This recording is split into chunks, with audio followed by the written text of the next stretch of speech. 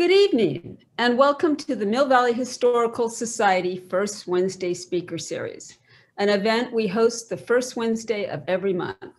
So sorry for our delay. We had a little early technical difficulty, so we're running a little late, but here we are.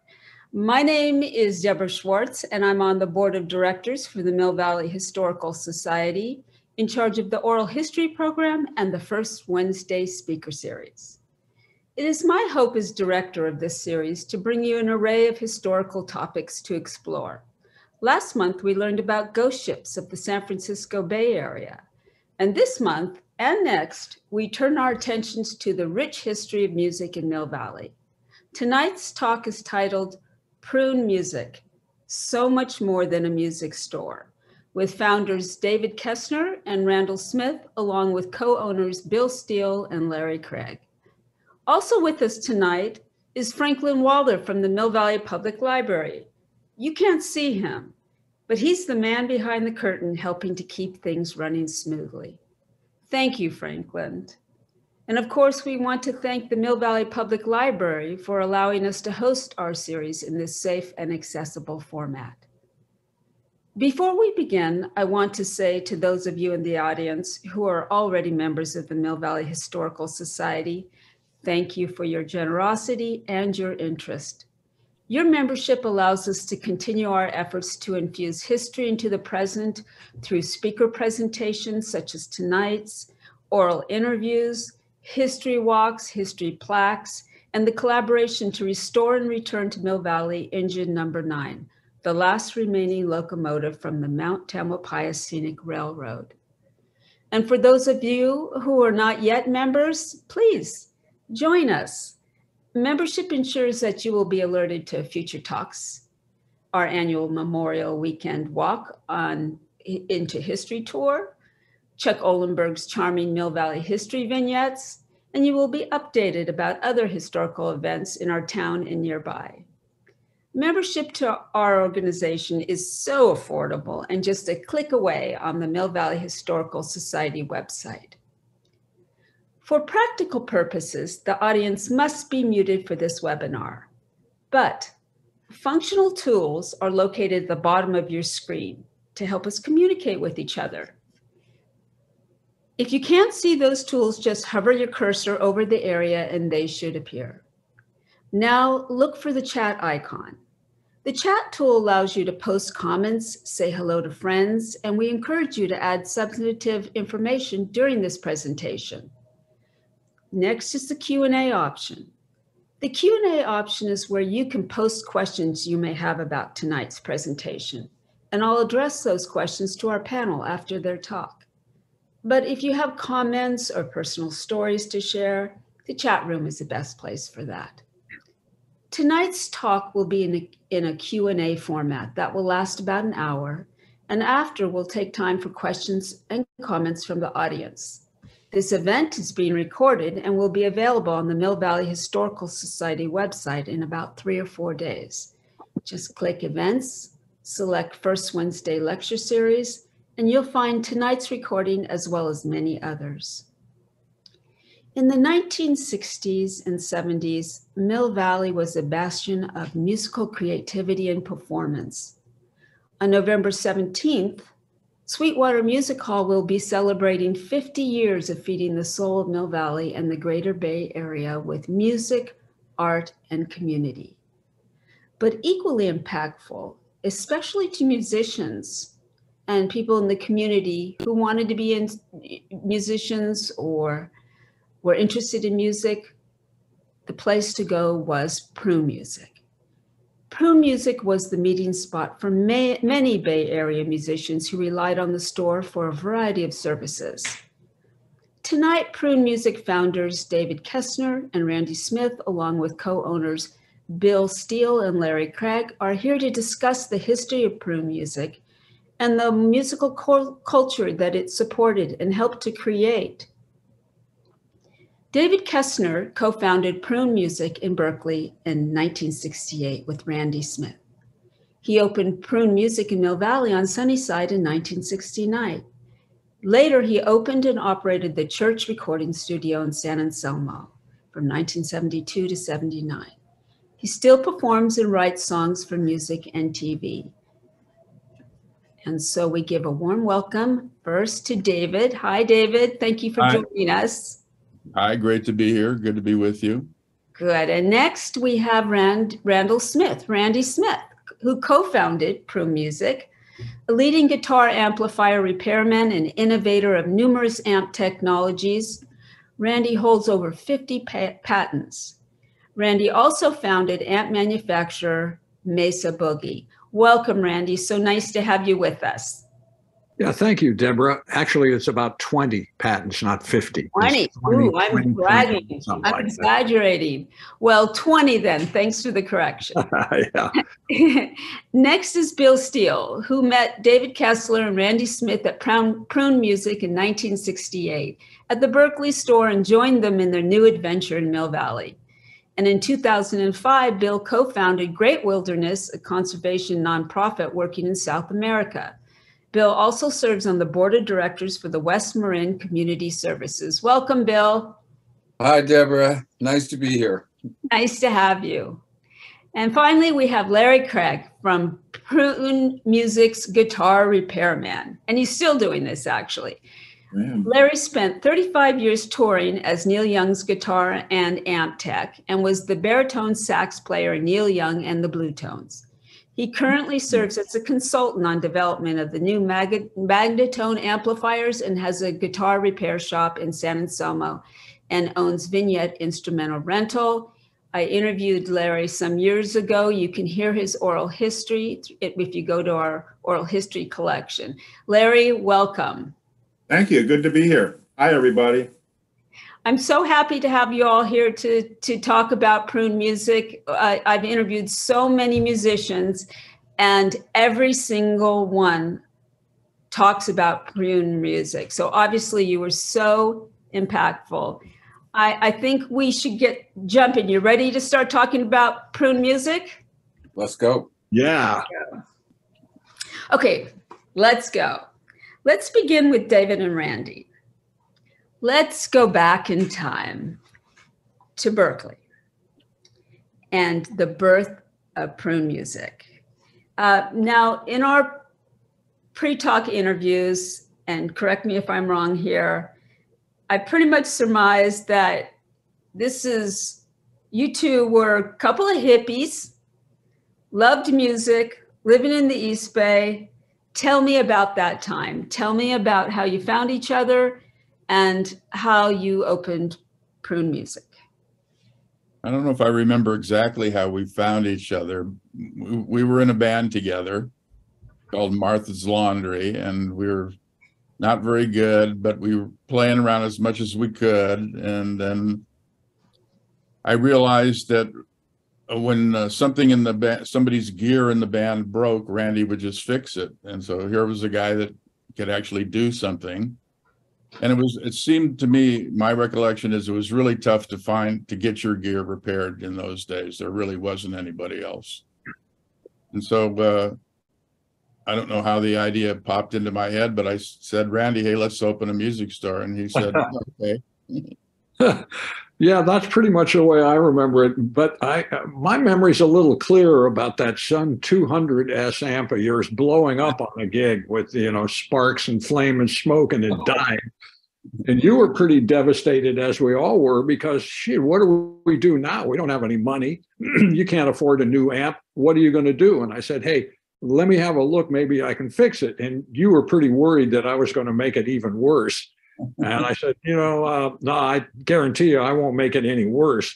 And uh, unbeknownst to you, I, you know, messed with some ham radio stuff when I was much younger. And when I took it apart, I saw eh, the usual bunch of burned up parts, and I went down and bought replacement resistors and a capacitor or two, put it all back together, and and it worked. And you know, I was probably as I was pleased, and I think you were surprised, but you were the one that had the great observation from that, which was, you know, to me, that was just what you had to do. I had this car that broke down about twice every week. So, you know, just keeping it working was just how you got through life. But you had the brains to say, hey, let's open a music store, which to me was so out there. I, I couldn't even believe it. but you did say, hey, you can fix this shit. And nobody, you know, everybody's playing in bands and there's a need for this. And as I recall, you said, and I found a storefront on Grove Street for $75 a month. So I said, okay, let's sell some of our gear. And man, it was it was brilliant, Dave. Thank you for that idea. Oh, you're welcome. Randy, I have to ask you, you, so much of your life has been involved with electronics. Were you trained? Did you have any training at all? None whatsoever. Never took a class in my life. And yet you just had the skill? It- it- you know, first of all, the tube amps for guitars that that they're not that mysterious and they're not that difficult to figure out. And that was the prevailing technology at that time. I got interested in electronics, believe it or not, through a Boy Scout wood carving merit badge, where the guy who was a merit badge counselor, uh, first he cut up my wood carvings and threw them in a wastebasket and told me I was he said two things that really stuck with me. First thing he said was, whenever you make something, Sonny, you're leaving behind an artifact of your values at the time. And looking at this stuff, either you're hopeless or you didn't try very hard. That was a great big lesson. But where that got into electronics is he was building electronic stuff in his home shop. In fact, the project was the heating and air conditioning control panel for the USS Nautilus, our first atomic submarine. That puts it in 1956 uh, or 57. I would have been 10 years old. At any rate, his older son was making ham radio stuff, and I was so impressed by how all the stuff they built. I just wanted to do it. So I started building stuff there and did that for as a hobby for a couple of years and then you know grew up into cars and girls and you know forgot about it until dave's amp blew up So let's talk about Berkeley at that time. What's going on in Berkeley? Well, Berkeley was a lot of hippies. The whole summer of love thing was pretty new, uh, very political time. Um, the People's Park riots, I think, were in '69. I'm not sure, '68 or '69. The the town was occupied by the National Guard, and there were troops everywhere, and there was a curfew. I remember Randy and I getting pulled over after curfew one night for you know just because we were driving around somewhere. So it was an interesting time. Uh, we- I think we, somebody fired a couple of shots through our window of the news store and oh yeah then we realized, uh, we couldn't get insurance for that anymore once that had happened. But we, we just, you know, I loved, I still love Berkeley. I loved it back then. I love it now. And we just had a great time there. We opened our little store, hung our band gear on the wall. And, uh, hope people would come in and they did. They started coming in. Where was the store located, located? It was on Grove Street uh, off of Rose, which is now uh, Martin Luther King Way. It was a And- little tiny store with a, had been some kind of market and there was a freezer locker and that's where Randy set up shop. And I manned the front of the store, our little counter. And you had to get a business license and everything. We were informed that we had to get a business license, so we did, which is, everything was very easy back then. I have to ask, how did the store get its name? You know, I think it just kind of popped into my head, but probably from some Frank Zappa record, but I, I don't have a real clear picture of what led me to that. Maybe Randy does. I don't know. i I think you came up with it and Yeah, I don't know where it Why came not? Well, he said it and he said, okay. yeah we weren't taking anything too seriously at that time Well, where did that story I know about that issue come from? I didn't make the whole thing up. Well, what is the story that you're thinking of? The story I'm thinking of is that, uh, the, didn't you guys have a, a place about a half a block down on Grove on the other side of the street? Didn't you have a house there? Uh, not, not Randy. Um, I did. I had an Yeah, you apartment. did. I had an So, apartment Yeah. down there. And around the corner was Fat Dog, who still has Subway guitars in Berkeley. right And, uh, and he was, so he was, uh, Randy tells a good story about Fat Dog, uh, and, uh, but anyway, there was some really good Afghani hash around and, uh, the story I heard, maybe from Stu, I think Stu Feldman might have been around at that time. Is that correct He too? was, yeah, he was at the store in Berkeley. I, I, I also watched the store at Berkeley sometimes and he would just hang out there along with Jim Okay, so the story I heard was that you were, the business license became a thing and then you said, well, what are we gonna name this? You know, and, and, uh, so somebody suggested, well, let's take a really big hit of hash and then concentrate on it, you know, like naming a band is what this was. Really, it's like naming a band. And, uh, uh, so that happened and then the Freak Out album was on. And somewhere in the middle there, Frank Zappa whispers, We're all prunes. And oh, that's it. That's the way I heard the story, but I could be completely exaggerating that, uh, but I refuse to stop It because could have you know, been, could have, could have actually happened that way. that's just one of the lies I live by, you know? Okay, so in no time, suddenly, possibly to your surprise, the store is quite busy. Everybody's bringing their stuff to you. Yeah, I remember a seminal moment where a truck pulled up, a truck, uh, and it was it was uh, Country Joe and the Fishes gear. David Faison was their roadie at that time. Yeah. And I remember him saying to me, he said, uh, "Well, we're getting ready to go out on a tour."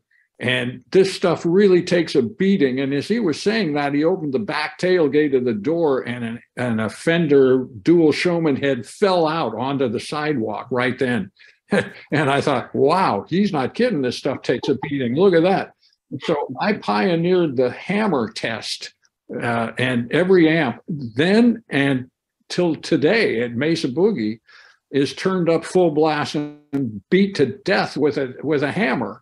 And the idea is, well, anything that breaks, you fix, and you keep fixing it until you can pound on it endlessly with a hammer, and nothing further will break. Um, and that that's kind of pretty much the key to a rock and roll life. I see Larry smiling; he knows all about that. Yeah, I've seen, I saw him do it. Also, he'd take a great big, um, Phillips head screwdriver and run it up and down the, um, circuit board too. But I, he took a ball peen hammer, and beat on this thing, you know? Anyway. It would freak people out because they think you're going to destroy your amplifier, but actually what you're doing is you're making it reliable because in those Yeah. days, the tubes and the construction, it wasn't as good as what we've got now. And so really mechanical vibration and the life of the road really did contribute to a good number of the failures. Huh. Okay, so you're doing pretty well in Berkeley, but all of a sudden you move over to Mill Valley. Why? What happened? My, my recollection is a friend, a- and I'm not sure who, if it might have been more than one person, told us all the rock stars are moving to Mill Valley. You guys should move over there too. And so I we- told you that. we went over to Marin and looked around and it just really looked great to us. So we just found a storefront and opened a second store on Sunnyside. Now, my my recollection is that and a little bit different. First of all, there had been a uh, some sort of a protest march and a riot right down Grove Street, right in front of the store. Now, I was a student at Berkeley, so I was used to getting tear gassed and hassled and all of that. You know, that was an ongoing thing. But man, it was like Dave. They, these these guys are just about ready to break into our store, and then now correct me. Maybe you remember this, Bill, but I thought you, Bill Steele, on the way out of the store said something like, wow, this is really a great store. We need something like this over in Mill Valley. And the way I remember it, Dave, is that you and I looked at each other and went, holy mackerel, he's right. Let's do it before he does. And we got into your Corvair van, drove right over there and found the one place available, which was 34 Sunnyside. Yeah, I, I, that's, that's the way I remember it too, Randy. And, and, and also there's a little bit more to that is Greg Mason, this guy that was dealing drugs over in Marin was gonna back me to open a music store in San Anselmo. But, uh, but then you, you guys jumped to it and asked me if I wanted to come, you know, be part of that instead of doing the music store in San Anselmo. I guess the early, that's as, in those days, that was eliminating the competition in the, you know, Heading it off at the pass. Yeah, right. yeah. Well, it was a good idea. Thanks, Bill, for that because we were really sick of Berkeley at that time. And we've got Marin County and Mill Valley was Shangri La. Yeah, I don't know if you remember this, Randy, but at some point you actually installed pipes in our front windows so that, you know, if someone broke the glass, they couldn't get in as easily. Oh, yeah, yeah, yeah. But I, what I do remember dealing with a landlord in his famous Gracia Reciprocity. I said, what? He was a Chinese, old Chinese gentleman. He's a great guy. Go, Gracia Reciprocity. And I couldn't figure out. And I finally I figured it out. Oh, the glasses are less ability, responsibility, liability, whatever it was. But you're right. Couldn't get insurance on it. Yeah, we couldn't get insurance once the riots started happening. Nobody would give So- us. How old are you two when you become business owners? Approximately. How old were we? Yeah, what age were you? 18, 20, something like that. Well, I think twenty, I think I was twenty-three and sixty-eight. Yeah, I must have been 20. I, I don't know. Who knows? We still Yeah. haven't grown up. Very young. Yeah, very young. But I mean, it was just, nobody really said, hey, don't do this, or you can't do this, or, you know. Yeah. Okay, so he- you move over to Mill Valley, uh, to the store moves to Mill Valley, and now we enter Bill and Larry. And in our pre-talk interviews, one topic comes up again and again, the motorcycle accident. no, So Larry and Bill, you want to jump in here and describe about that moment that changed? yeah. Well, Larry and I were in a band out in Lagunitas, uh, and, uh, living out there. And, uh, I was married to Lindy, uh, at the time.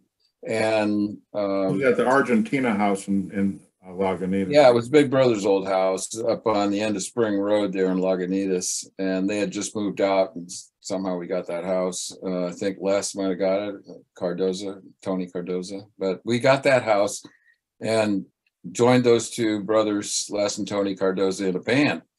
And uh, so then the thing with David and Randy happened where they asked me to join them in uh, in their endeavor in Mill Valley, run, you know, run that Mill Valley store until they could, uh, till they figured out what to do with it and all that. And, um, instead of opening the store, I was going to open with Greg Mason, which I was just elated about because he was a little difficult to deal with. Um, and, uh, I was riding a motorcycle out by the San Geronimo Valley Golf Course on the back road, Meadow Way, I think they call it. And, uh, I got to a corner and I was indecisive, crashed into a telephone pole guy wire. Lindy was thrown free, thankfully, and didn't get badly injured. But I broke my femur, and that cost me a year almost of recovery. Uh, although I went back to work before I was fully recovered, but I was in a body cast for about six months. And so it was a very traumatic thing for me. Fortunately, Larry was right there. I said, Hey, Larry, can you cover me on this and go do prune. Well, turn that decision right there, that just asking, the fact that Larry and I were together at that moment was just really It, sweet. it, it changed my life completely, started a whole new path for me. Yeah, and I- me too. I, I've right? been, And me too, because it held the position for me and then I was able to join later after I was, uh, you know, well, I had been fixing guitars since I was 14, learned how to straighten necks and do intonation from the guy in the back, uh, the little old guitar repair guy, German guy, uh, uh, in the store where I was taking banjo and guitar lessons. So that was the, my only um, uh, instruction. So I started working on my own guitars and my friends' guitars, but this is back in what, 65, 64, right in there. Anyhow, so Bill asked, well, can you watch the store for me? And I was, you know, getting $10 a day and I was so poor that uh, I said, hey, yeah, $10 a day is better than no dollars a day. So I started wa- watching the store and all those uh, Leo's music, um, uh, re- you know, they're uh, trade-ins, you know, and they were just terrible shape. And they were hanging up on one side and on the other side in this store. And since I knew how to fix guitars, I went ahead and fixed them one at a time because no hardly anybody came into that little store on Sunnyside. It was pretty dead. And so I just passed the time because I liked fixing guitars. I'd always done it for my friends, never thought of charging for it. And um, but uh, when they moved to uh, Locust, they said, "Okay, you're our guitar repairman." And so instantly, I'm working for the Grateful Dead, Big Brother, Quicksilver, Country Joe, um, you know, Yeah. you know, Jefferson Airplane. I mean, I was working for all of them Yeah. immediately, and here I'm 21. But I knew I was good at it because I've been doing it for a while, and I love doing it, and I still do. You were paid how much per guitar back then? Well, eighteen dollars. That was a huge upgrade in pay for me. And so, yeah, eighteen dollars a guitar. Yeah. Yeah, and at that time, I was fixing everybody's amplifiers, and uh, the standard bench fee was seven bucks. That got your amp fixed. David, you described meeting Bill for the first time in the Berkeley store as he hobbles in with the help of his lady in a body cast, right? Right, I think he- they had a Volks, my recollection, and you can correct me, Bill, if needed. They had a Volkswagen Beetle. And they had taken out the front passenger seat and Bill with his body cast somehow could get in the back seat and Lindy would drive him around. Yeah. And they started coming around the Berkeley store. Yeah. Yes, And that that, body cast was, and it, interestingly about that body cast is that uh, I was at the time, you know, the Vietnam War was a big issue, and I was uh, in the National Guard, so I was uh, uh, uh, in the military, if you will, and uh, eventually our unit did get called to go over, and I, you know, I wasn't going to kill people in Vietnam. So I applied to be a conscious objector and they wouldn't allow me to do that. They didn't want me to do that. And so I went, I went out, I went public. I did a couple of speeches at rallies in my class A uniform. So when I broke my leg, the FBI came into the hospital to arrest me. And the doctor, uh, Carol Kruger, who was an orthopedic surgeon in Marin at the time, wouldn't let him take me. He just stood between me and the FBI. Told him, no, you're not taking him. I'm operating on him tomorrow. He's not going anywhere. And they backed off. Uh, so then I got a release date. And because I was in a body uh, cast months later, I got three months, four months later, I got a release date from the hospital. So Larry came three days early, you know, and whooshed me out of the hospital in the middle of the night and took me out to San Geronimo to Greg Mason's house where I was going to be holed up because I thought I was still AWOL. Turns out that the day after the FBI came, they had uh, given me an honorable discharge and thrown thrown my copy in the circular file so that I would just shut up, stay undercover. You know, they were they were pretty slick back then. Though there was the Cohen Pearl Cohen Telpro days, you know, where they were spying on everybody and what have you. yeah, it's, it's important to remember the impact it had, uh, the threat of the draft and the war. And it was tumultuous times and there was a ubiquitous concern and fear about your life going in a very negative direction, if that's how you felt about the war quite quickly. So I, There's a great movie out now, The Boys That Didn't Go, uh, which you guys have probably heard about it in Mill Valley uh, Historical Society. yeah, About Todd out here who didn't go. And it's a, I'd recommend that movie to people. So let's get back to Mill Valley. And you're in on Sunnyside and there's, what's Mill Valley like? I mean, you've got a store next to you called Antique Telephone. No, it was the guy that would took that was a hairdresser there. He drove around in an old green uh, telephone truck, and it was called Antique Telephony. Now we uh, shared a back room with him, and so in that back room there was this all these telephones, old telephones that, that he was in the middle of fixing. But uh, he worked uh, on the hair of all the older. He was a very suave-looking guy, and all the older women just loved him, and so he had a good business. That was next door. He didn't like us much. But what I remember too is the day that we opened, one of the first guys that came in was John Cipollina. And he said, "Hey, I got a broken guitar cord. You think you can fix it?" And I said, "Yeah, let me give give it to me." And I soldered it up. And man, I'll tell you what, John was so kind. And of course, he became a fan and a great, uh, great uh, friend and client of Prune Music. But he held it up to everybody. He said, "Look, everybody, look at that solder joint, man. This cord isn't going to break again, man. That's great." And uh, I took that as a good sign and a good endorsement. And yeah, man, I mean, we just got the the nod of approval from a major guy. Yes. I was more interested in our other side neighbor, to tell you the truth. What about it? I was more interested in the neighbor on the other side, And who was that? the Brothers Bar for Oh, Oh, that's once you went. That's not till later. Yeah, Yeah, that's We're not. still on Sunnyside. Yeah, let's go to Locust. We, Oh, we yeah, I thought we were on Sunnyside. Locust, sorry. How long were you at Sunnyside for? Maybe Six months or so, or wasn't it? It Yeah. As, as quick as, that was, that was a stopgap so that we could get our, our, our flag planted in Mill Valley, head off any potential competition. And then when, uh, I think Dave found uh, the Locust Street and, uh, man, that was, that was what we were looking for, kind of, that was the real deal for us. Partly because it also had a meat locker. Oh, that's Yeah. right.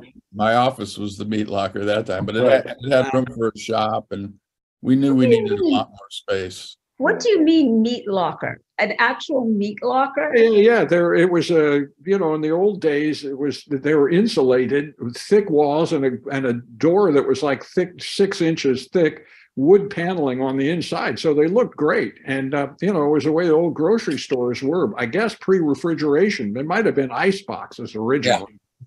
Old oak walls and stuff, beautiful. So, Yeah. So Randy and Dave, you then move to Mill Valley. You leave, you leave Berkeley behind and go to Mill Valley, correct? Yeah, we I had both we were stores still- for a while. We were still trying to keep Berkeley going for a while, but it was, it, we lost interest in going over to Berkeley and we, we both, around that time, we both moved to Marin and didn't feel like going to Berkeley that much anymore. Eventually, we sold that store off. Not eventually, pretty quickly, probably. I don't know if we sold it or gave it away, but it became a music store um, by a guy that was in the band with us and Martha's Laundry later, and he's still got a music store in Austin, Texas now. Right. Guitar restoration. Yeah, I saw him a couple of years ago. Resurrection, I think, wasn't it? Re- Yeah, maybe so. Yeah. It went from Oh, resurrection to resurrection. Yeah, that was Right. Larry Jameson, by the way, and he painted the sign that hung on Prune Music the whole time. Hey. I was Hey, Bill, I got that sign. Fat Dog had that for years and he kept telling me, I got to come get it. I got to come get it. And I finally went over there last summer and I got it. He had it up on the ceiling. And There I you got it, I got it up at my place now, hanging on the wall. Good for It you. great. Yeah, it looks great. It's all worn. Yeah, I out. wondered what happened that sign. Man, we got it. Okay, so now we're entering into the 70s. And this store really had its heyday in the 70s, would you say? At least with your involvement? Yeah, Absolutely. This is the golden years of prune music and Yeah. as prune music becomes basically an institution. I mean, you are well-known, people depend on you, and you have become a meeting place for musicians. Here's the reasons why, because you got Larry doing the guitars, you got me doing the amps, and and we knew good gear. And so at this time, Fender was going through the CBS transition, and they were making a lot of garbage. The the gear was really pretty terrible, and so we had older gear that was good, and it worked really well because Larry and I fixed it all up. Yeah. And, and so, I mean, The Bands could bring their truck up to the back of the store, unload everything, go, uh, Larry and Randy would go through it. If they had drum problems, I took care of that because I had the drum department. And, uh, you know, sell them all the hardware they need, replenish their stock. It was a stop, pit stop for touring bands, right? And that, that was one thing that we did that was really important. So we sold mostly used gear. We had some new gear, but the used gear was better. And when we look back now at the prices that are commanded for Les Paul guitars and Stratocasters, if we had a kept some of those, they were worth so much money, we'd sell them for like 150, 160, 175 dollars. They're worth 10,000 now, a lot of them.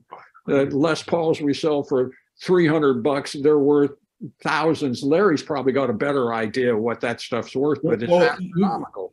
uh, uh, Mark Pasternak would drive down to Fresno, buy a bunch of Stratocasters, most of them 50 Stratocasters with maple necks for $250. I'd fix them all up because, you know, they, they're in, you know, bad shape, but all the guitars that you bought, I would fix up and you'd hang them on the wall. And that was how I paid my bill, was fixing your guy's guitar. And, um, uh, and I think the Stratocaster sold for six hundred and fifty dollars for a fifty Stratocaster, which is worth, Jesus, now sixty thousand. Yeah, those prices I gave were for like sixties strats. And, you know, we thought that, ah, who cares? It's a sixties strat, you know, that's not worth much. So those are only in the ten thousand range, I guess, now for a good one, right, Larry? Yeah, so I remember when our, during our guitar show, a guy came with four Cherry Sunburst Les Pauls. And he tried to sell them to us for two thousand dollars a piece. And we just thought that was the funniest thing. Look at this guy. He, he's trying to sell these. So those are the ones that are worth, you know, 150, 200,000 dollars now, easy and a lot of times more. Well, There's a really famous good guitar player who I still see on occasion. And every time I see him, he still looks at me with kind of a serious face. And this is not a jokester guy about me ripping him off for charging him $375 for one of those black Les Pauls with the three pickups. You know, $375. And I'm just looking at the guy and going, well, did you keep it? You know, I mean, So, Speaking of guitars, we've got to talk about one particular guitar maker. He comes up in almost every interview. uh, Do you know who I'm speaking of? oh. Charlie, Charlie Deal. Oh, the first money I ever made uh, working on guitars, this is before I uh, they moved to um, uh, Locust, is was refinishing toilet seats for Charlie. Yeah. And so I can't remember how much I made, and you know the wooden they had to be wooden, and so I would you know you know take the uh, finish off and and you know spray them clear and um, give them back to him, and it he would go around and get all the parts, and this is later when the uh, store was open, but he didn't really know how to you know where to put the bridge and how to make the bridge, how to wire the electronics, and how to make it a go, uh, going guitar. And so that's what I did. But he got all the parts, put them together, and I made it work. But I start, I started out be, just refinishing toilet seats for Charlie. So for those that don't know who Charlie Deal is, I know when I moved to Mill Valley in 79, he came right up to me as, as first time I met him and, and pronounced, I make guitars out of toilet seats. he was a Can't play them, but I make them. He was a, he was a, he was a, he's actually a really nice guy. Yeah. Yes. He was a little, little odd and a little weird and a little slow, but a real sweetheart. And he He was would come in every every day, really. Yeah. Yeah, he was he was one of the one of the characters that made Yeah. Mill Valley what it was. That's right. Yeah, you'd wonder what if there was something wrong if he didn't show up, you know, in a day. You'd worry about him. Yeah, exactly. There are many customers that seem to come in every single day. Like who? Like what? Talk about life. Mike Bloomfield, Mike Bloomfield would come in there pretty much every day. Nick Yeah. Gravenites would come in quite a bit. Yep. You know? I used to have breakfast with Nick before we opened down at the Mill Valley Cafe or over at Augie's. Well, I'm going to mention one guy who's sitting right here, Doug West. He started coming in. Uh, he says that I don't remember this, but he claims that I sold him his first guitar from Sunnyside. the Sunnyside store when he was eight years old. He's still working at, at he's a key guy at, at Invite him in here because he he has a useful perspective, Doug. And I know when I when you first Hi. talked to Doug, you called him Dougie, which tells you how young he, he must have been when you first Well, we call him Yeah. Tone Boy. he came on, and the guy that introduced me to him, he said, "Now this is a real tone boy here. This is the guy you need to listen to. This guy." So he started out play testing amplifiers here, and then you know he's my the other half of the design squad here. Is he's the guitar playing guy while I tweak on shit, you know. So I owe it all to I owe it all to these guys. They raised me. Um, I, I was the luckiest kid in the world to be around all these incredible mentors. Larry, love you, man. like, Likewise, he was behind the counter, so he saw it all happen. Yeah. yeah. So I, I would watch Doug- the counter when they would go in the back room. Hey, kid, watch the You're counter." back in the back, burning one. I, I would just, I are would, doing in the back room? I would think I was the coolest guy in the world. You know, just being able to stand behind the counter and smile. And, yeah, can I help you? I don't know what I'm doing, but can I help you? Yeah. Yeah. Doug, I have to Doug, did you, Doug, did you know Mouse, Mark? Uh, Mark, what's his last name? Um, uh, Salute, anybody else know his last name? The poster guy? Mark. No, I, uh, I was just to No. say, uh, uh, in the theme of young people at Prune Music, here's the way we handled this. We handled all the kids different. When Archie Williams would come in, we Archie. would be, uh, we would just sit and watch and be in, yeah, right, be in Yeah. awe. not right? worthy. And Archie okay, so Mouse hero. is on the other end of the spectrum. He used to hang around and steal shit and do whatever, you know, I don't know. He and he was fancied himself a little bit of a guitar player. He had a bass player friend who I still know who's really good, made a bunch of albums in the R and B world. And but he broke into the store one night, right, through the skylight, Mark. and he got caught by the Mill Valley Police right? So they called us up and uh, we had to come down, reset the alarm, do all that stuff. And uh, and then the, uh, they brought Mouse in, you know, by the back of his collar to the store the next day, uh, you know, because I'd talked to the cop and I said, "We'll bring him down. We'll talk to him." So they bring him down. What do we do? We get we hire him. We give him a job.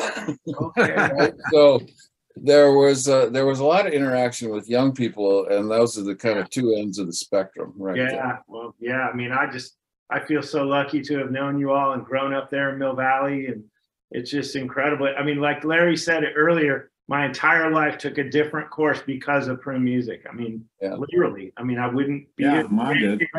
Yeah, I mean, when you said that, I was sitting over there going, wow, is he ever telling the truth about my world? And I mean, it's, a- and it was an institution for all the young people and all the musicians in the area. It's Just, I met all my heroes there and including you all, you know, it's just like, it's, it was incredible. So thank you all and could never say thanks big enough to y'all. Well, thanks for giving us the youthful perspective, Doug. It was Let's amazing. talk about more of the people that were were in the store regularly. I mean, what what was it like? I mean, did it did Carlos would show up, you know, uh, I, I mean, he would just bring his own guitars. He'd come and hang out too, you know, and uh, Carlos jamming with Michael Bloomfield. How often would you Carlos see- I would just be in the Carlos Santana in the in the front room, you know, jamming. Yeah. How cool is that? Yeah. But everybody would hang out there. Nick Gravenites would hang out in my shop. Um, Bob Weir would be back there sometimes, and you Yeah. know, and and um. Uh, The back Mike room was Bloomfield would be infamous, Larry, let's face it. The back room was infamous. You have to say Yeah, that. was. Everybody knew about the back room. Well, not everybody. The people that should have known about the back room knew about the back room. And the ones who didn't know could smell it from the front. That's true. So so let's just I mean, drugs. Oh, No, never. Uh, in front, only in Yeah. yeah, only on Sunday.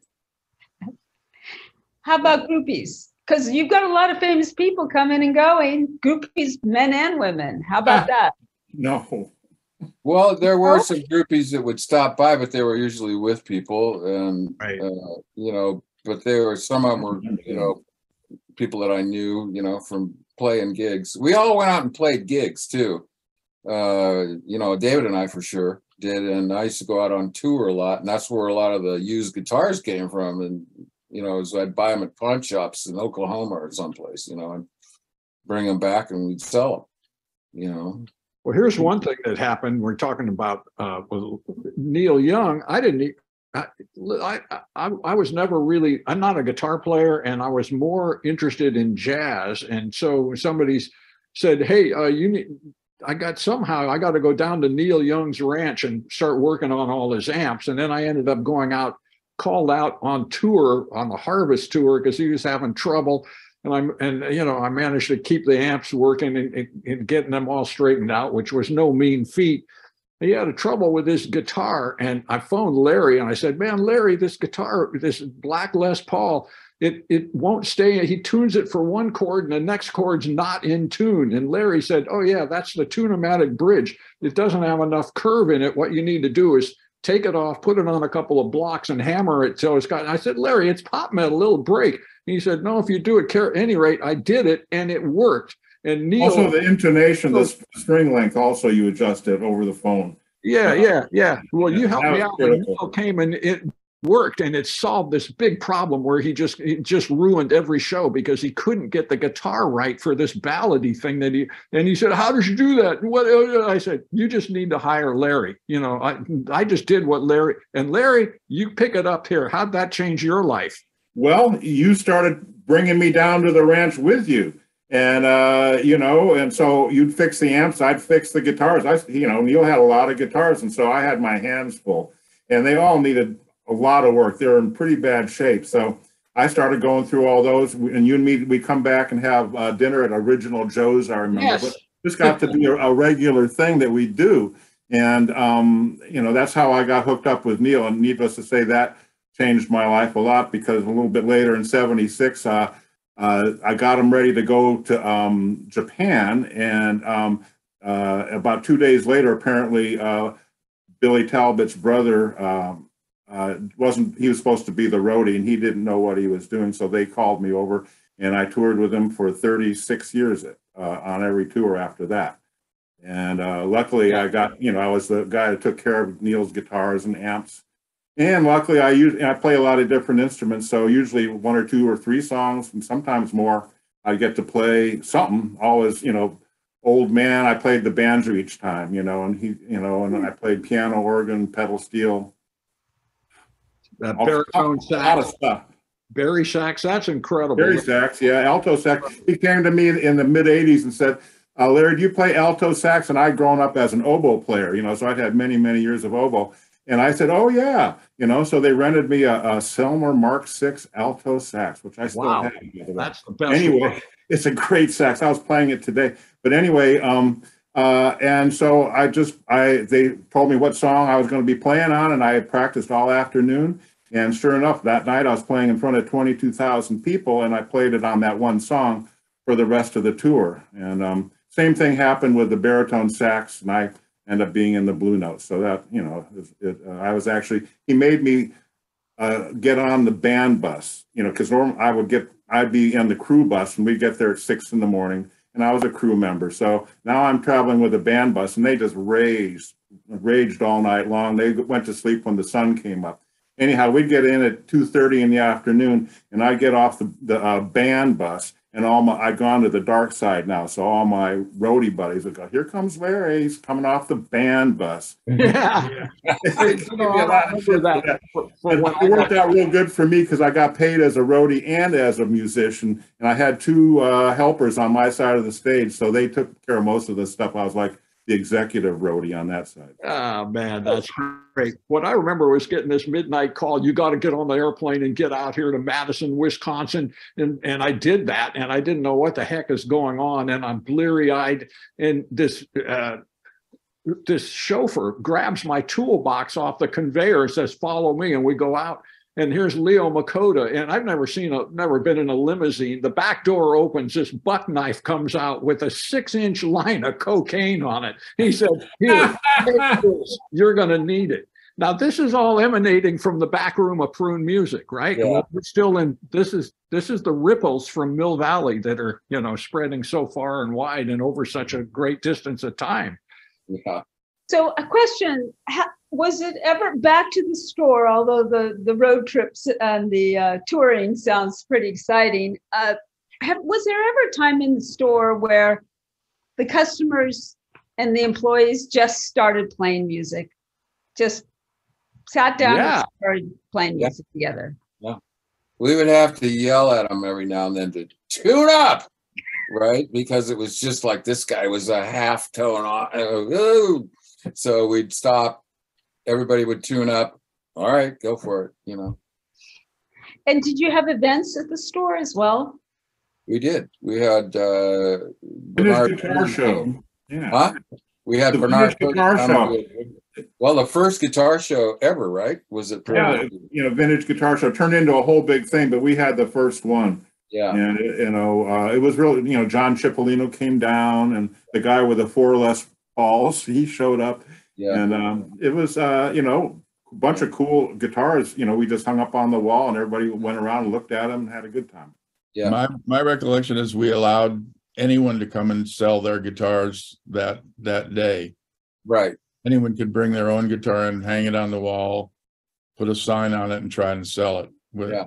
And No what I remember was the store was absolutely jam packed with people flooding out onto the sidewalk. It was hugely successful for, uh, I've got still, I've got pictures of a couple of the shows here in my studio. yeah, cool. I'd like to see those as a memory. Yeah. I've got a few. Definitely in one of them. Yeah. Got a picture of the Rompers drum kit. If you guys remember the Rompers made in the, during World War II, it had all rosewood lugs on it. You know, everybody just loved all the old stuff that we had laying around.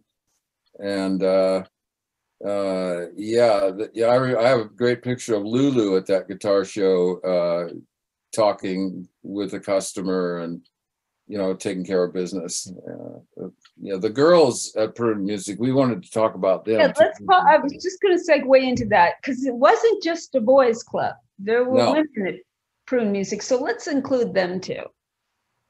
So Lindy was David's uh, secretary and took care of uh, a lot of accounting stuff, which she still does today. I think she, you know, that's not what she's trained for, but that's what she ended up doing uh, because of Prune Music. So there again, her life was affected by being David's secretary. David was the boss, you know, he was the guy that ran the store. We all just agreed on that, you know, and he was the guy, you know. I, I ruled with an iron hand. He did. He was a really guy, hard to work for, you know.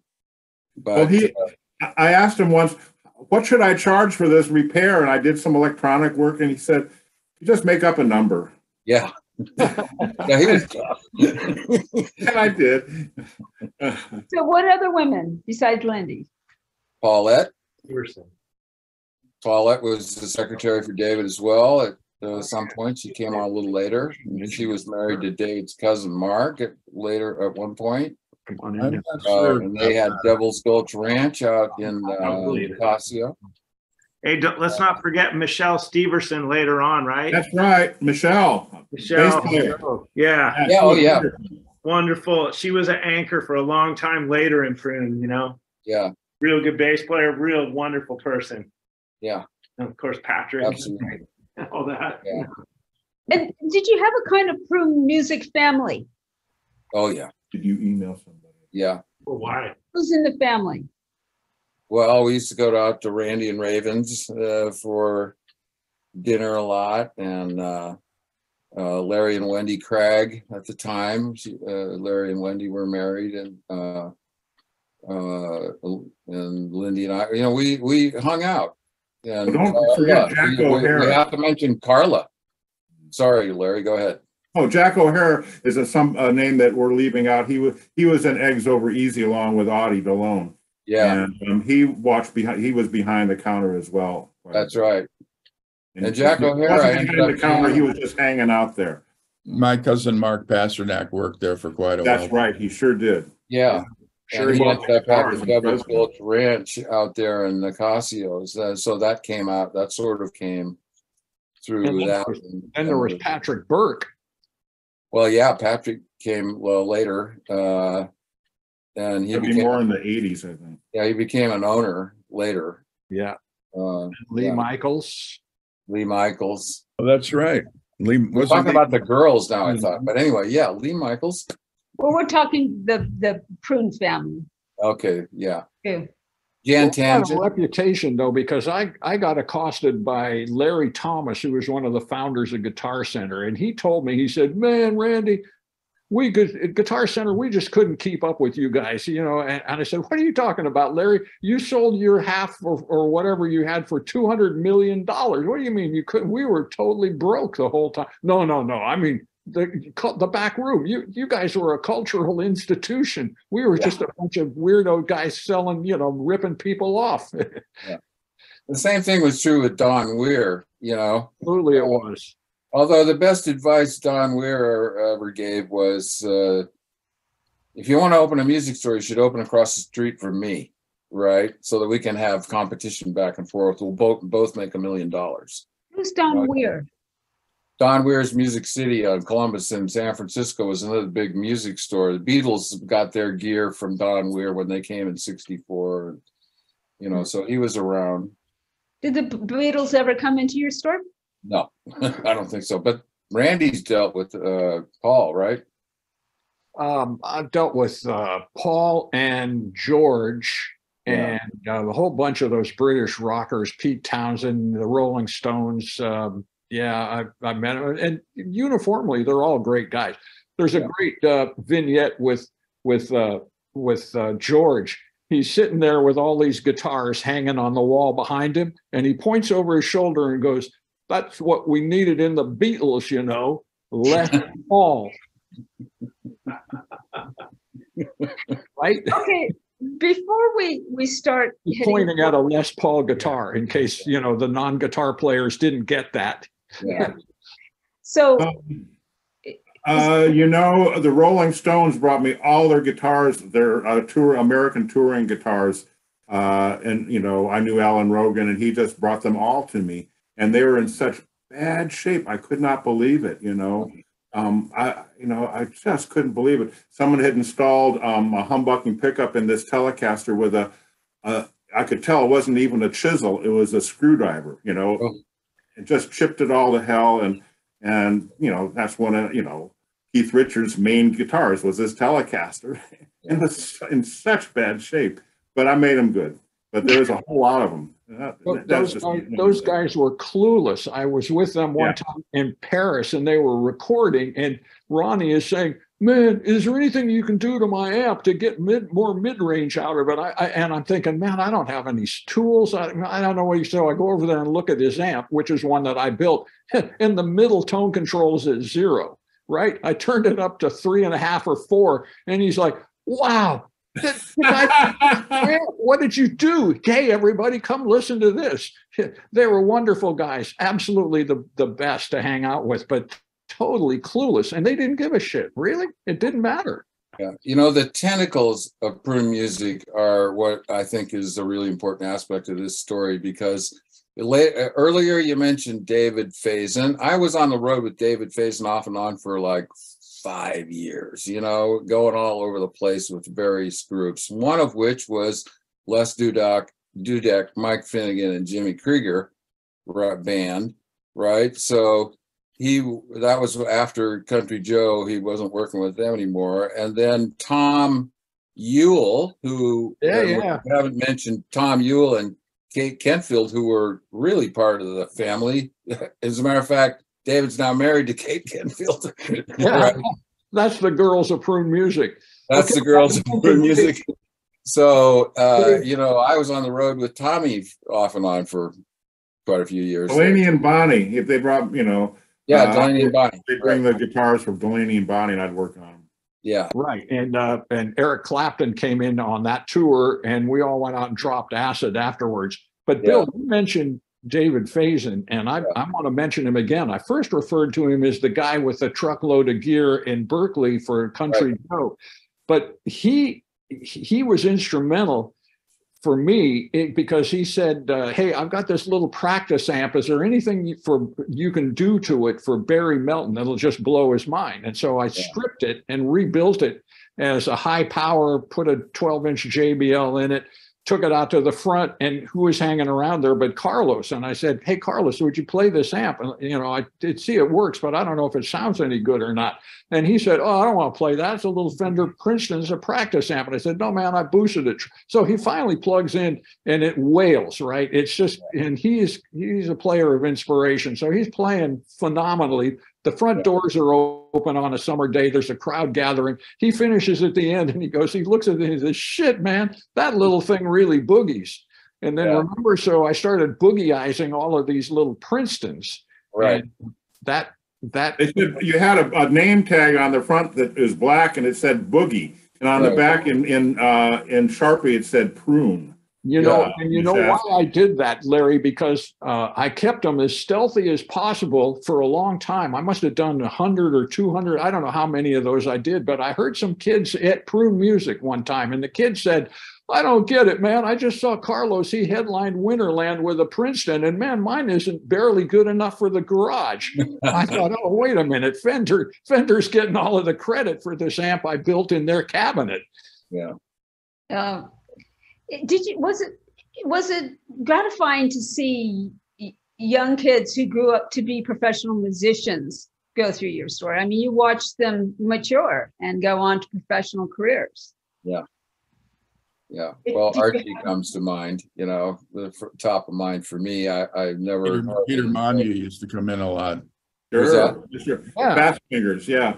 Um, Pete you. There's Yeah. a great guy I hadn't thought of for a long time. Well, that guy Isham used to come in all the time. Mark Isham used to come in even with Sure. uh, Terry Bozzio. Terry Bozzio, Yeah. right? Another one. Yeah, A place. And and hey, let's not forget, since we're also talking about Mill Valley, that right around the corner was Mill Valley Cyclery and Charlie Kelly, the roadie for our favorite band, the Sons of Champlin, would drop off a bunch of gear for for us to work on. He'd go around the corner and get bike parts because they were inventing mountain bike and clunkers, we called them at that. Concord, yeah. That's, yeah, that, I, I, that's where I went for my, uh, uh, Caesar at Mill Valley Cyclery made my clunkers. yeah. And, uh. Still got one. There were, there were Schwinn's with, uh, ten-speed, uh, derailers on them. yeah And, Gary uh, Fisher made my first one. We'd go on a clunk. The word mountain bike hadn't been invented yet. Right. I still go up Mount Tam most every day these days. What, what you're describing is a kind of a fertility in Mill Valley of creativity. I mean, uh, we've we've had I've interviewed Wendy Cragg. I've interviewed many of the bikers, and it really isn't that different of a story of yours. It's young people having a good time, modifying things as they need to, and inadvertently creating an industry Yeah, and becoming backing in accidentally almost into their professions as adult, which has worked out really well, it appears for you and for the bikers, correct? Change changed the world in some ways. Yeah, change the world. yeah. Yeah. be- Well, the whole Came into time we're changing the world, and uh, I know I saw in your little. Uh, uh, you sent us uh, an outline of the talk, so we wouldn't be surprised by all this. And uh, uh, you kept mentioning you used the word hippies a lot, and I'm thinking back, and yeah, yeah, we were hippies, but I, you, I somehow I didn't. I, you know, I don't know that a lot of hippies that were real, you know, hippies were really thinking about being hippies. You know, I think they were just doing what they wanted to do. There was a generation that kind of broke out after the 50s being so stale. And then all of a sudden through the 60s, it morphed into this thing where people were doing what they wanted to do. Well said, Bill. I, I think so too, because I wanted to be a beatnik be- when I was being a, a high school rebel, but I realized I was a little too young. So you're right. We were just doing what we were doing. And years later, it was called hippies. But Yeah. But we weren't hippies. They just named us that. But we had been doing what we've been doing for years. Yeah. Yeah. Yeah. I And I can see why all the uh, uh, San Francisco bands came to our store because we weren't a mom and pop, mom and pop store. It was a hip store, you know, and sometimes you could smell things out in the front from the back room. They knew that they were in the right place, and sometimes they'd go back there too. yeah. How was it live, ha- having your store right next to Brothers Tavern? That was convenient. Yeah. well, I heard a lot of good stories in the Brothers Tavern. I used to, I used to play pool with Dan Hicks over there occasionally, but they, they would open at six AM. And so they were open for many hours before we would even show up to Open work. at six and close at two AM? That's right. Wow, Yeah. that's commitment. Public, Yeah. Well, they were a they were a family bar. You know what I'm saying? So listen, we've got to get on to the questions, but I have a, a question to ask you all before we segue into the next part of this event. Two questions. In your youthful imaginations, could any of you have imagined that your life would go on the trajectory that it did? That you would, in many ways, continue to be exactly who you were when you were young, and and and and be able to live that life professionally? Not I. I knew I liked fixing guitars, but it took uh, David uh, to tell me that I could charge for it. I had never thought of that, and here I'm so poor, and I had never thought of turning that into my life's work, which that's one of the things I do. Hey, hey, Larry, it was it's David. We owe it all to David because I never thought about fixing amps for money either. You just had to do it to keep your uh, your scene working. Is it Well, I true think- that some months, I mean, Prune Music itself as a, a business venture, who is it that said some months we had to decide if we wanted to pay the rent or the electrical bill? We Well, I never think I back to that guy, uh, uh, uh, Larry Thomas, when, you know, he, he was making, two- sold his partnership for 220 million or something like that. And no, we were, we were impoverished. I was, that's for sure. It didn't take as much to live back then and we, we could live frugally, but we never made real money there that I recall. I didn't. I didn't, either. yeah. But, you know, I started off being, uh, playing at a young age. I was, uh, sort of really good on the trumpet and I was, uh, just dedicated to Satchmo. And I learned all his songs note for note. And so I got to playing out when I was about thirteen. And, uh, so for me, it was just a continuation of that along, I mean, that's what I was doing.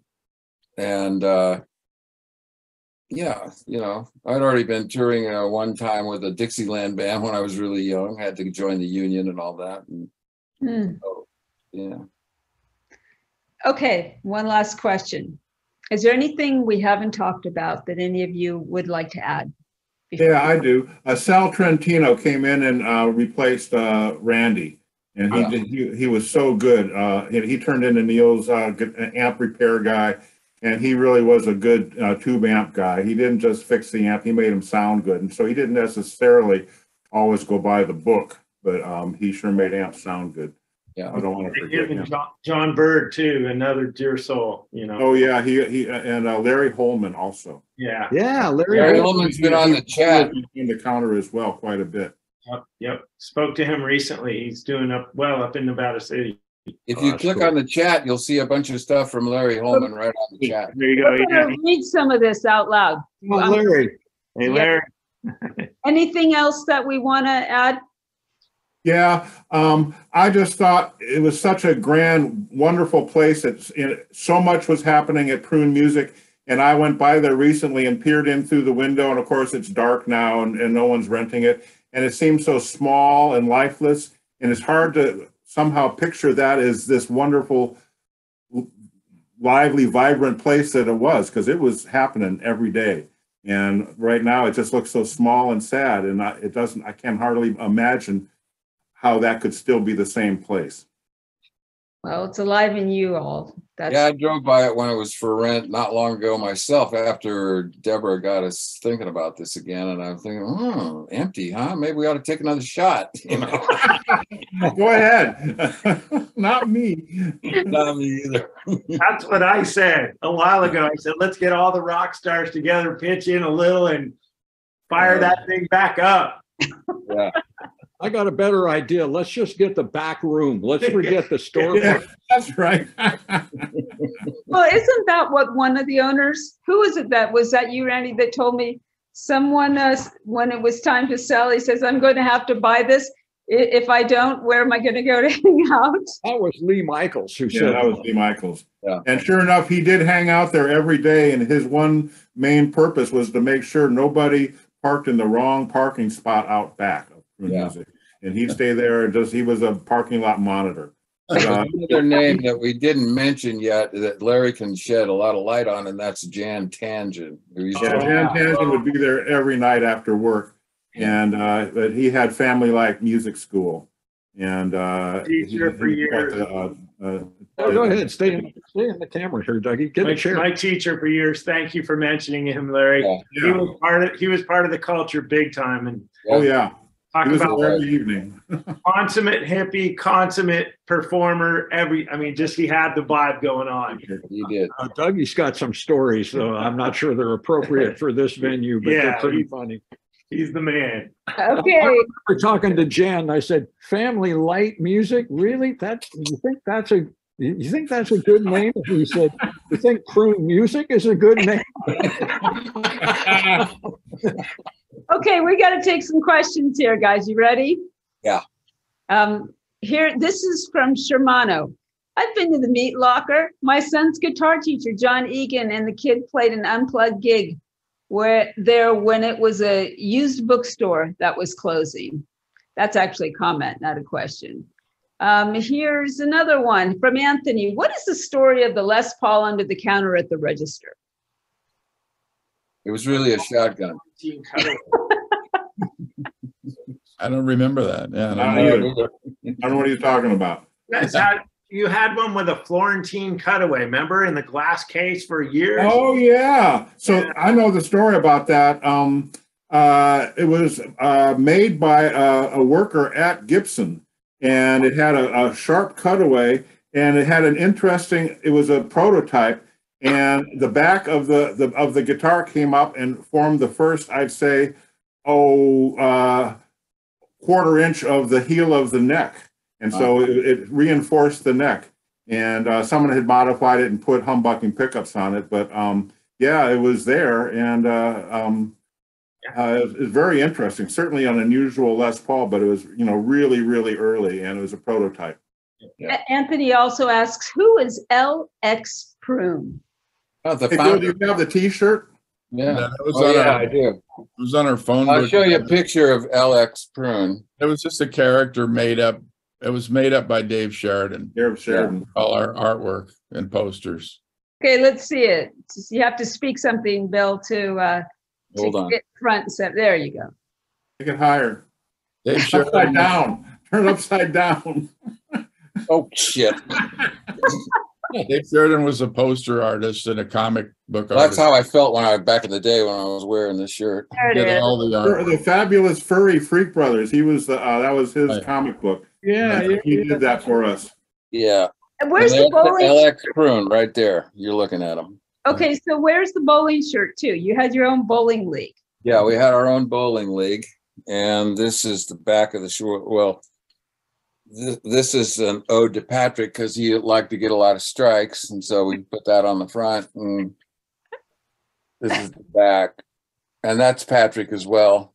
He had it done in his own image. Uh-huh, nice. yeah. Okay, here's some comments. This is from Ramona to the panelists. David, are you the Kessner who played with Brighton or Britain? Brittany, excuse me, Brittany. Yes, I remember, and say hi to, Ram- I remember Ramona, yeah. Hi, Ramona. Yes. Okay, this is from Larry Lee Holman. Hi, Larry, Randy, Bill, and David from Larry Lee Holman.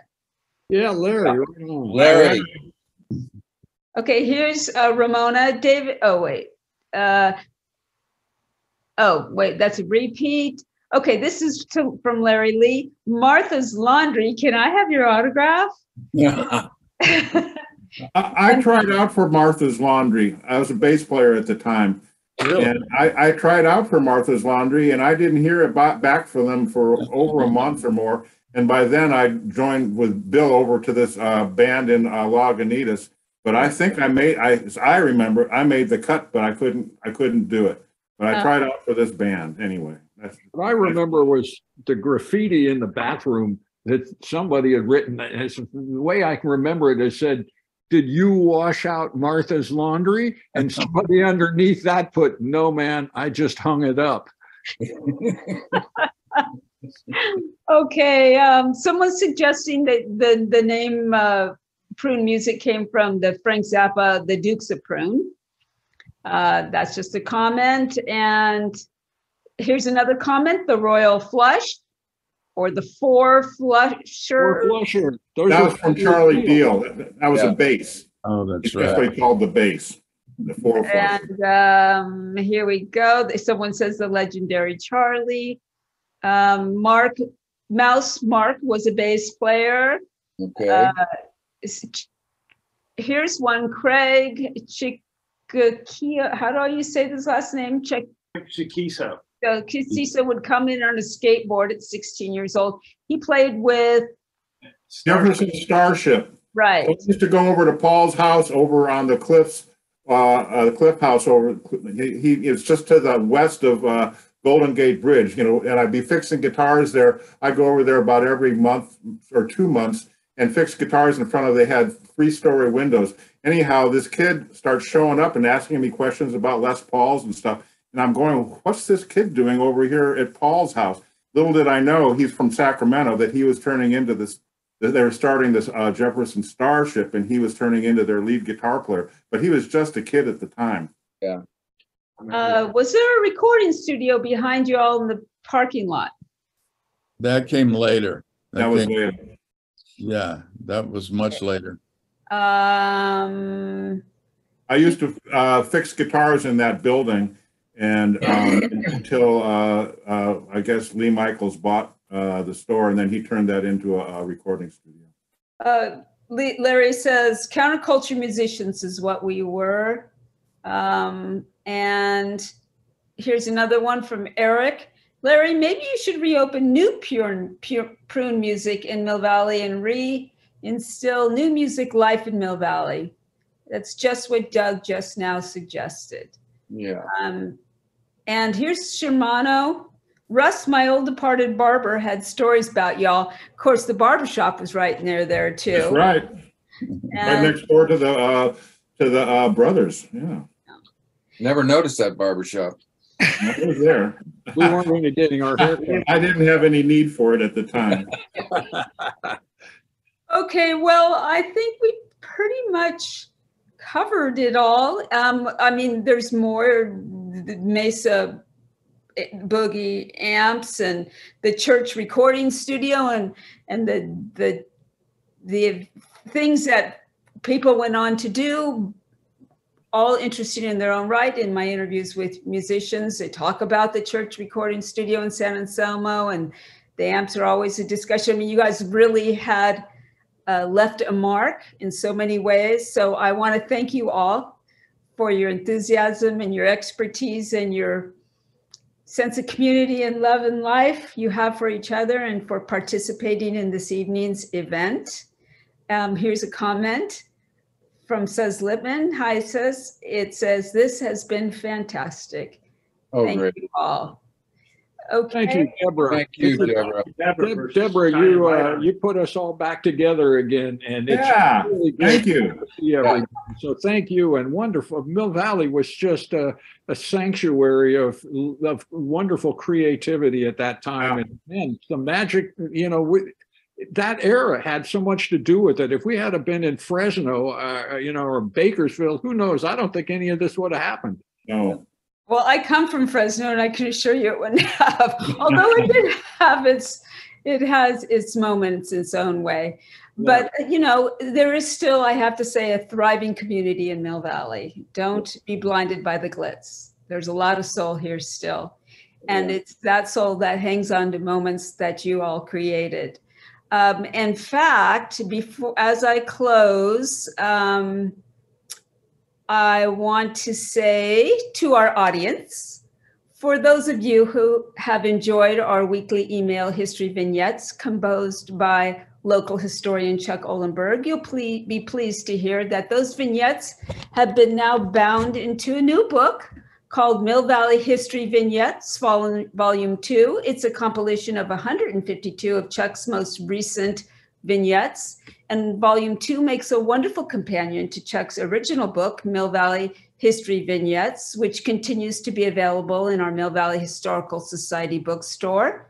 Also available in our bookstore is Adventures of Two Coast Miwok Children, written by my dear friend and fellow board member, Betty Goerke. This beautiful book brings alive Marin County's Coast Miwok legacy as it explores the daily, daily lives of a real boy and girl who lived in neighboring villages on San Francisco Bay in the late 1700s. The little boy in the story is named Huicmuse, but he would grow up to be known as Chief Marin, Marin County's namesake. It's a precious and truly beautiful book and a great gift for children and adults. Also, please celebrate 50 years of Sweetwater goodness with the opening of Mill Valley Public Library's new gallery exhibition, Listen to the Music. See photographs, posters, live recordings, and more from some of the most influential and beloved musicians who performed at the iconic Mill Valley music venue during the 80s and 90s. The exhibition is made up of items from Jeannie Patterson's collection, donated to the library by the late talent booker and manager of the Sweetwater, and displayed here for the first time. And if you're interested in delving deeper into the lives and stories of some of the people we spoke about tonight, please do go to the Mill Valley Public Library's oral history collection and listen to the oral histories of musicians Marty Balin, Lorin Rowan, Huey Lewis, Austin DeLone, Jesse Barish, Rob Moitoza, Dave Getz, David Freiberg, Jimmy Dillon, Bobby Weir, Bill Champlin, and Terry Haggerty, uh, Yeah. Dory Collar, Larry, Cragg, you, Wendy, your uh, former wife, Bill Fat, uh, Phil Fat, Rita Abrams, and music teachers Bob Greenwood and Joe Angelo, and many more. Those are just some of the people I've interviewed. There's more. And you may not recognize some of the names I just mentioned, but I guarantee you no doubt know their music.